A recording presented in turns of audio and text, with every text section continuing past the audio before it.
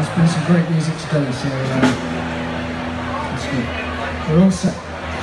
Okay. All right.